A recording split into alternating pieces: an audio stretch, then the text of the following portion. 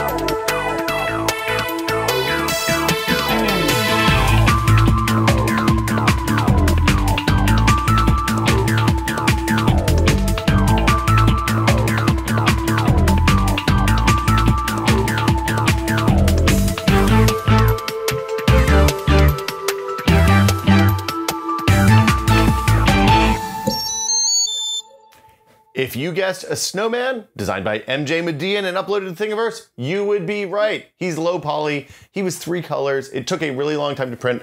Sorry, we only got up to about right here before I ran out of space on the memory card doing the time lapse. Um, but uh, he took about 14 hours for all the pieces to print, including the downtime between colors.